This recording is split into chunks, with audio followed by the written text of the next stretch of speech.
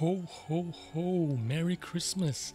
Today's video is a compilation video of Wargaming's three best videos ever. I cut it up to the most important parts so that you can watch it all in one place and also save it to your playlist because there's a lot of information on spotting and concealment mechanics uh, that's going to be useful for either beginners or even seasoned pros. I will also add timestamps for you so you can easily find the information uh, that you need or come back to it at a later date uh, to refresh your knowledge. So without further ado, let's get straight to the spotting mechanics. Every tank in the game has seven visibility checkpoints and two view range ports. The latter are needed to spot enemy vehicles. These ports emit virtual vision rays. If these rays cross the visibility checkpoints on the enemy vehicles, then an enemy is spotted. To understand the location of these points better, imagine your favorite vehicle. And now we'll cover it with a box. Turret location, gun length, machine guns, and antennas don't affect the box size. Only the overall size of the vehicle's physics model is taken into account. So, there's a checkpoint right at the center of the box roof. Two more checkpoints are located at the front and at the back of the vehicle. Another two are at the sides. So, that's five. The sixth point is on the gun mantlet, and it's aligned with the seventh. As soon as the turret position changes, one of these points moves together with the mantlet, and the other stays in place. The upper checkpoint and the point on the gun mantlet also function as view range ports. Hey, hey, hey! Easy! Theory's good, but how do you use it in the battle? Let's see some specific examples. You're standing behind cover. Allies are behind you. The enemy is ahead. Some are asking you to light them up. Others are waiting for free damage. In a situation like this, don't try to spot the enemy this way. You're exposing your checkpoint, but your viewports are still behind cover.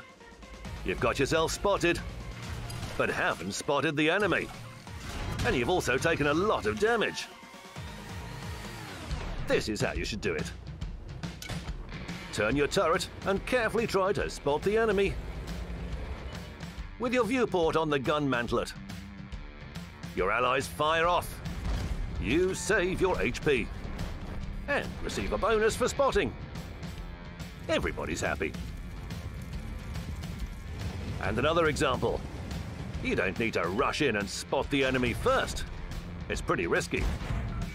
Sure, you'll see them, but you won't last long. To be a good scout and keep yourself safe, you can stay on your side of the hill. You just need to roll up the hill and point your turret in the right direction. The view range port in the gun base will give you all the information. And you almost don't risk anything. Let's move forward. Two scouts are hiding in the bushes. The first is spotting and the other... The other is being spotted. But not for long. That's because it didn't hide its checkpoint. The first tank exposes its gun, machine gun, antenna, and even the corners of the hull itself. But it doesn't matter. What matters is that all checkpoints are covered. It provides good spotting and is still intact. See? That's what knowing the game mechanics can do. By the way, about the mechanics. Vision rays are not endless. The maximum view or spotting range is 445 meters and the maximum draw distance is 565 meters. You need to understand the difference between these terms. View range is the maximum distance at which you can spot the enemy and the draw distance is the maximum distance at which you can see the vehicles in general. Both Allied vehicles and enemy vehicles spotted by your team. Depending on the distance between vehicles, the vision rays have different frequencies. The highest frequency is at a distance of 120 meters.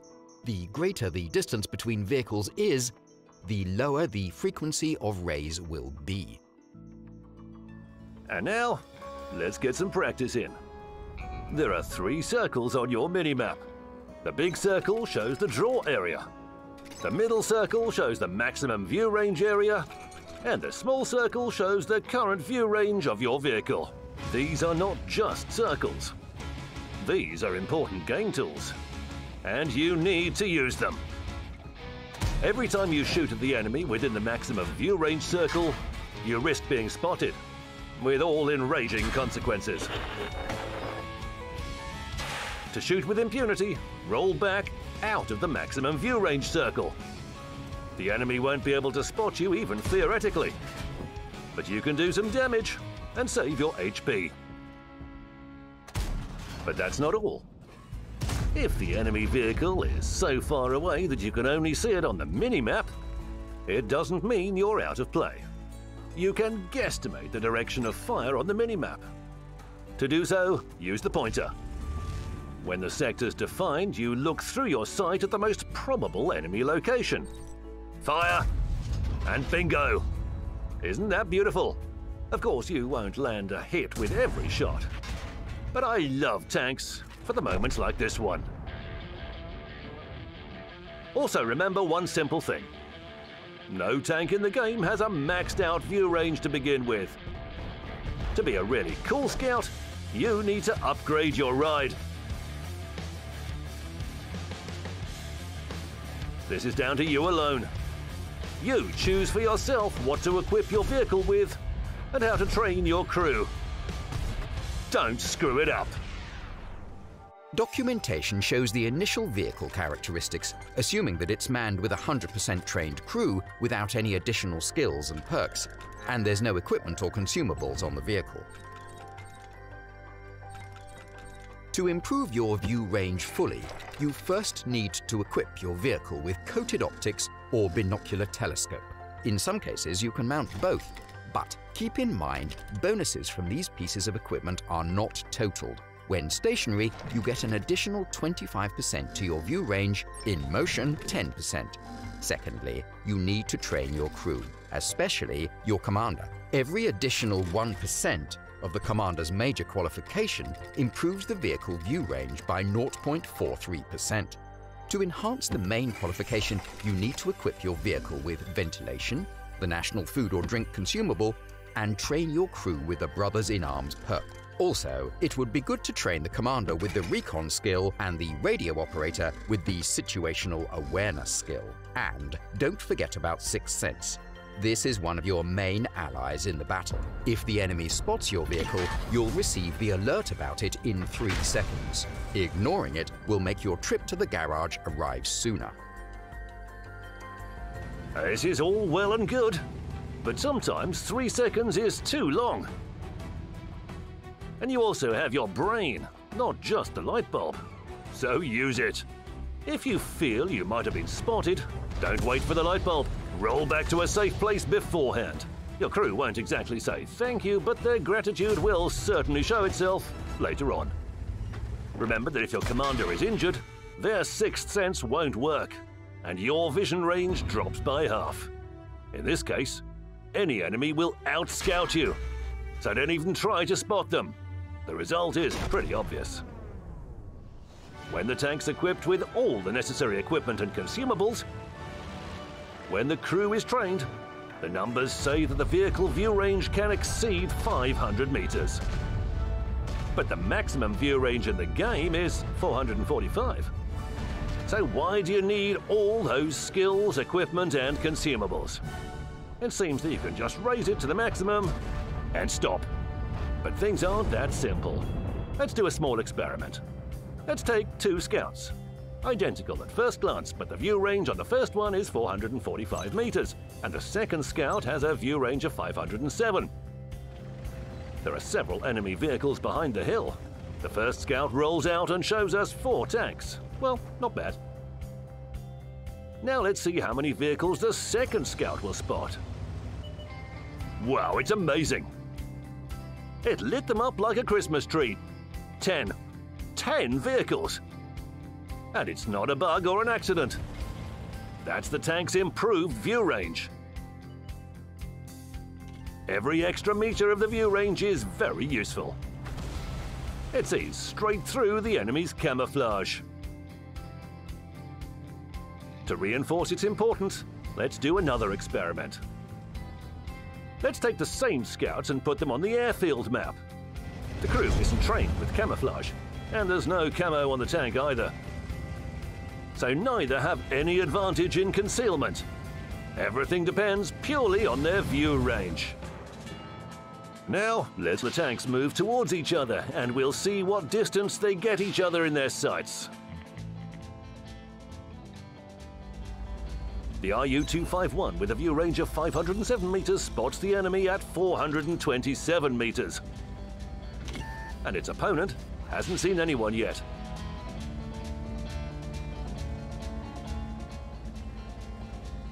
And only now, after the precious seconds are gone, it's finally spotted. The rangefinder shows 375 meters. But why is that? Shouldn't it be 445?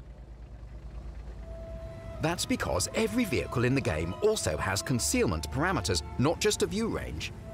The vehicle's concealment is affected by the vehicle type, size, and presence of special equipment and consumables. Vehicle concealment gets worse when firing and on the move. Vehicle's concealment is affected by its type, dimensions, special equipment and consumables, directives, and, of course, its crew. For any vehicle, four concealment figures are distinguished. First, a static vehicle. Second, a static vehicle that fires its gun. Third, a moving vehicle. And fourth, a moving vehicle that fires its gun. You can check the characteristics right in the garage. But what do they mean? It's all quite simple, really. These figures are used to calculate the distance at which the vehicle will be spotted by the enemy, where 50 is the constant value that shows the distance of the so-called X-ray vision. Wow, easy. Let's look at a specific example. Say the enemy view range is 450 meters. In random battles, that's an average value for Tier 10 vehicles. And here's a Batchat, right from the factory, without any concealment improvements. The static tank will be spotted by the enemy at 383 meters. If we move, they'll see us at 400 meters. Should we fire our gun, the enemy will detect us at 437 meters. And if we shoot while moving, this distance will increase even further. An important note light tanks generally have an above average view range, while, say, Soviet heavy tanks are fairly blind. Don't try to remember all the numbers, but knowing at least estimates can be useful. In any battle, you have two simple helpers circles on the minimap and the rangefinder. Using them is no simple task, but you can do it. Case 1 Start of the battle. You're driving to a flank. An allied light tank detects an enemy spotter. You've got to shoot, yet the distance is dangerously short. As soon as you shoot, you get spotted. A sad but expected demise. Case 2 A similar battle. A similar path. But now a blind heavy tank gets spotted instead of a light tank. Take your time to aim and score a frag. Even in this case, everything could have been different. Let's examine it from a different angle. If the enemy has a fast tank, it can get somewhere between you and your target. You frag the heavy. The heavy doesn't spot you, but the invisible opponent does. That's why instead of shooting, it's sometimes best to simply stop and wait for the enemy to drive to a distance that's safe for you. In general, use your head before a battle starts. Analyze the team roster. Think, where will the most dangerous enemies go? As the battle progresses, check who hasn't been spotted yet. Figure out where they might be. And don't be shy about checking the popular bushes. Allies are under long range fire, but there's no enemy nearby? A light tank must be close. Get to a safe spot and check the bushes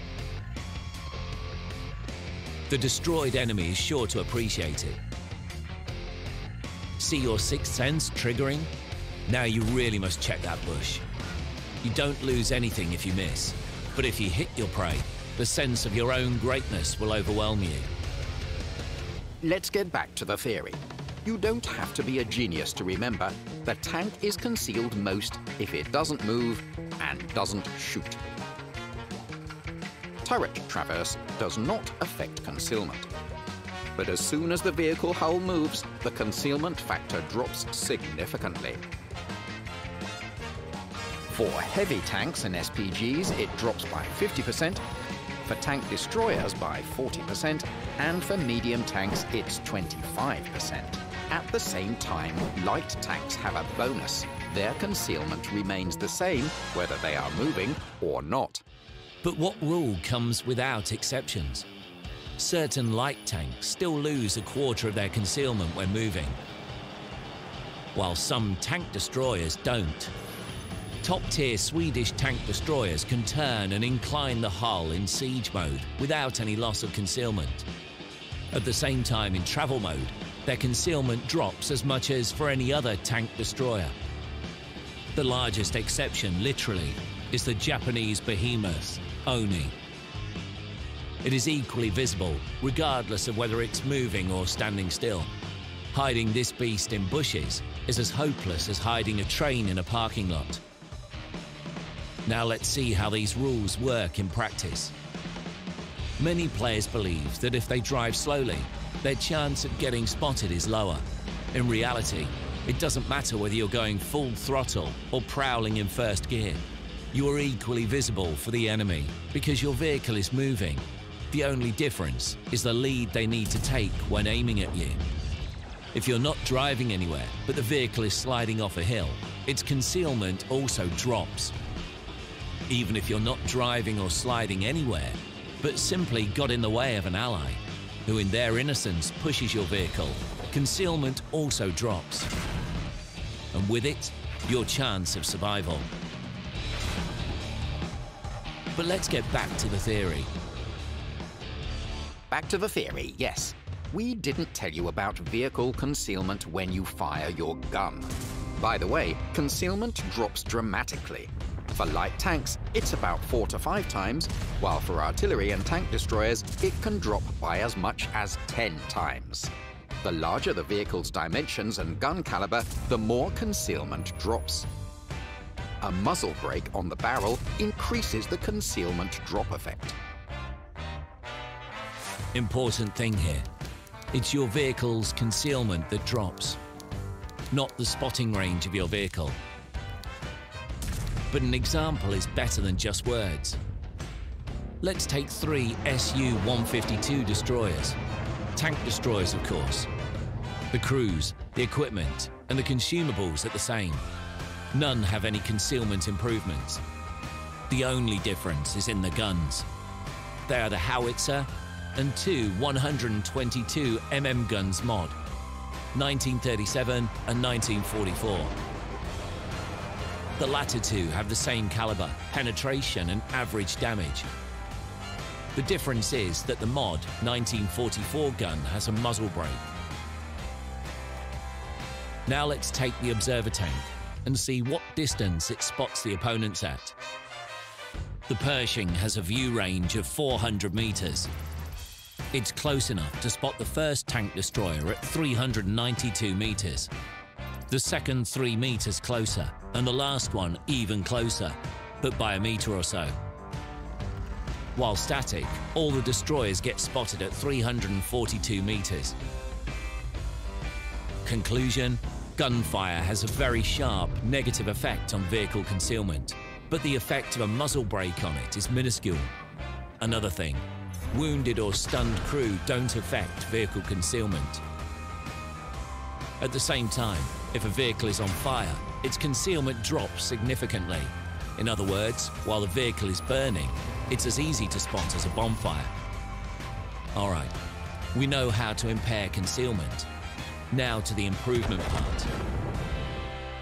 There are a number of means to increase concealment. The best of them is to max the concealment skill for the whole crew.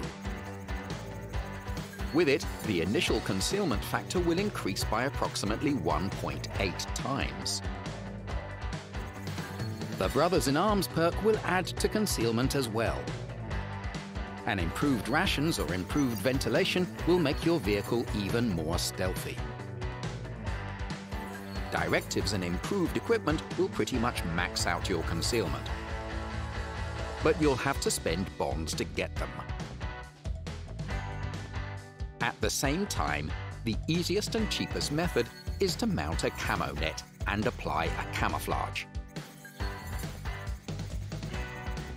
The net becomes effective three seconds after the vehicle stops, while camouflage works at all times. And here's a little life hack. To increase the concealment factor, you only need to paint the hull. Applying a camo to the turret and gun is just for looks.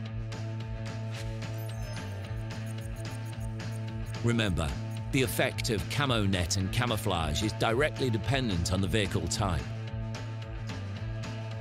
If camouflage is useful in all cases, the net is a lot more complex, since it uses one of your equipment slots. Mounting it at the expense of a different piece of equipment is only reasonable for tank destroyers and some light tanks if you prefer to hide behind bushes and stand in one spot a lot. Otherwise, it's best to use the slot for something more useful. Now that we've pumped up the concealment of our tank destroyers to the max, let's get back to Minsk and conduct another experiment. This time, all the destroyers have the same guns. Shots are fired, and what do we see?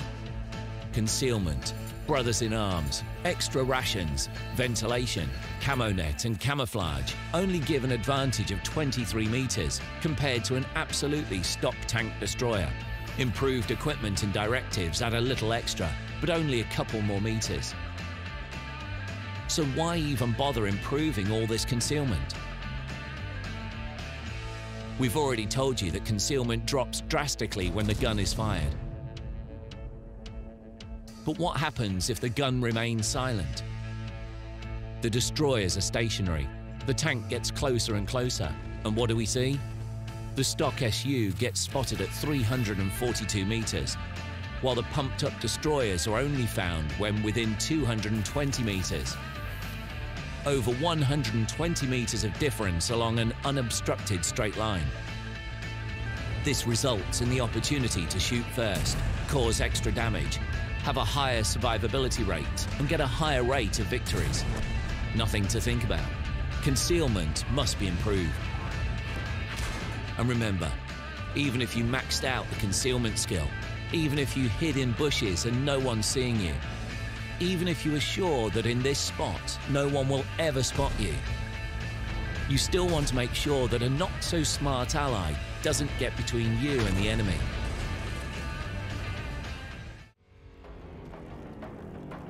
As you know, spotting range depends on the enemy view range and your concealment value. The higher this value is, the shorter the spotting range will be. If a tank is hidden behind cover, the concealment value is considered at its max, and you can spot this vehicle only at 50 meters. Not only buildings, but any of these objects can serve as cover. They are all similarly non-transparent for the enemy's vision rays. But keep in mind that every tank in the game has two view range ports and seven visibility checkpoints. And all vehicles have different dimensions. Where you can hide one tank, you might not hide another. It's clear that opponents spot each other using the top view range port, which is also a visibility checkpoint. But things can be different. Let's take two similar tanks. One is parked in the open field, and the other is behind cover. And what do we see? The vehicle behind a building is spotted, while the tank in the field is not. At first sight, it seems absurd, but if you look closer, this vehicle's vision rays hit the non-transparent object and one of its visibility checkpoints is exposed to the enemy's line of sight. So park your tank carefully, especially when every second counts. When capturing a base like this, remember that a crate protects you from both vision rays and shells, but canvas won't hide from either. Also, all vehicles within a 50 meter range are spotted automatically. Don't confuse it with the radius on the minimap. In this case, the vehicles won't spot each other. Let's get back to concealment. You can improve your concealment with the help of bushes, trees and other flora. Objects like these give a bonus to the concealment value. Small bushes and plants without foliage usually add a smaller bonus. Thick plants with foliage double the bonus. But what do these numbers mean? The answer is simple. They are added to the vehicle concealment value in the formula of the spotting range. Hey, hey, easy there. Let's see a specific example.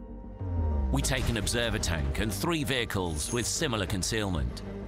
The first vehicle is placed on a clean straight line. The second is hidden behind a semi-transparent bush, and the third one is covered by a thicker bush. Send our observer forward and let's watch. The first vehicle is already spotted at 383 meters. The second is spotted at 100 meters closer. And the third becomes visible only at 183 meters. Let's check the test results with the help of a formula. Yeah, that fits. Let's bring our observer back to the starting position and send him forward again. The other tanks remain at their previous positions, but they're moving now. The red vehicle is spotted at almost 400 meters. The yellow one at 300 meters, while the green tank is spotted at 200 meters. Let's insert the value of the vehicle concealment on the move to the formulas. And everything fits again. And what will happen if you shoot? It's clear in theory. The bushes provide great advantage. But what about in practice? Let's put our observer at the range from where he spotted the first vehicle and watch. The thing is that not only the concealment of the vehicle itself decreases, all flora in a 15 meter radius from a firing vehicle becomes transparent and doesn't provide any bonus to concealment. The drop of both values lasts only a split second, but the formulas of calculating the spotting range for all tanks become the same for this time. And now let's use our head and roll the vehicles 15 meters back from the bushes. It's very easy to do. Switch to sniper mode and roll until the bush becomes opaque. And that's it. You can fire. The first vehicle is spotted just like before. To see the second one, we'll have to move 100 meters closer. And the third tank will only be spotted from 237 meters. It all adds up. But there's one nuance. Let's do another test. Here are two twins. Both have identical view range and concealment. The one stays 15 meters away from the bush, and the other takes the observer's place. Let's go. One vehicle is moving forward, while the other is turning around, but spot each other at the same time. In other words, when more than 15 meters away from the bush, it's similarly opaque for both vehicles. You can use this. If an enemy moves so that there will be a bush between you, you might want to hold your fire. In the first case, you'll be spotted right after the shot. But if you just wait a little, there's a chance to remain undetected. And if you want to fire and remain unspotted for sure, do the following. Roll to the bush, spot the enemy, roll 15 meters back and then fire. Then again, roll forward, spot, roll back, and only then fire. Seems inconvenient? At least it's safe. Now it's time to talk about what spotting time and visibility time are. The first is the time when you or your ally are spotting the enemy. As soon as the enemy stops being spotted, they remain visible for about 10 more seconds. So the visibility time is the spotting time plus these 10 seconds. Sometimes it's not enough. The designated target perk can help in this situation. It adds two more seconds to the visibility time of the enemy. The focus on target directive will add two more. In total, it's 14 seconds instead of the standard 10. But it's not that simple. First of all, this will affect only those enemy vehicles you spot yourself. Secondly, it will work only against opponents who are in the 10 degree sector of your gun direction at the last moment of spotting.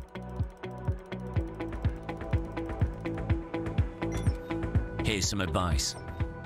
If you play using your allies spotting, it's almost pointless to improve visibility time. You'll still see the enemy for the same 10 seconds and not more. If you spotted the enemy vehicle, but it turns round the corner expecting to get off your radar, don't start looking for a new target right away. Against you, their standard calculations don't work as reliably as against others. These four additional seconds are good for vehicles with a long reload time. Every time you spot the enemy, you have time for one more shot. And it's not a shot to nowhere, but at a certain target. Let's get back to concealment. The one bush situation is clear. But what if there are several bushes? It's very simple. Concealment bonuses from each bush are added up. But remember that the maximum value of this sum is 80.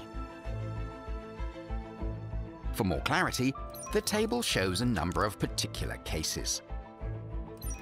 Knowing your vehicle concealment and approximate enemy view range, you can roughly estimate the distance you will be spotted from.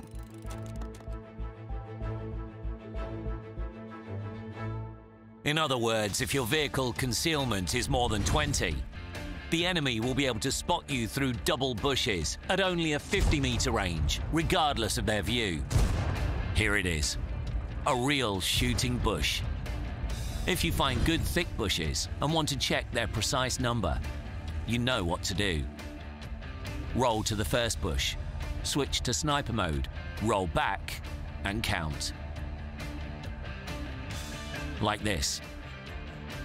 Now you can fire. And fire. And fire. Repeat until the enemy comes from your rear. However, it's not the end. While the fir trees conceal tanks about as well as bushes, there's a thing about other trees. The thing is, every object like this has an invisible simplified model. It can be slightly different from the visual model, but it shields your vehicle from the enemy's vision. As you can see, the models of fir trees and bushes suit well for concealment. To hide your vehicle behind a tree, you'll have to bring it down. This is how it looks like in the visibility system. A tree that toppled near a bush or two trees fallen next to each other work like double bushes. You can hide behind palm trees using the same principle. But be careful, you can be immediately hit by a shell from a conservationist, and vice versa. If you see a tree falling, shoot there to test that woodcutter. Sometimes it makes sense to fell a fir tree. The bonus to concealment won't increase, but a fallen fir tree will give you cover from the enemy in a greater sector. But no matter how many fir trees you bring down and how well you master the hiding skill, here's a simple truth. You won't be able to sit in bushes all the time. If you want to win more, seize the moment when you need to advance and go for it. And that's all for today. Share your ideas about the topic of the next episode, and we might tell you exactly about that.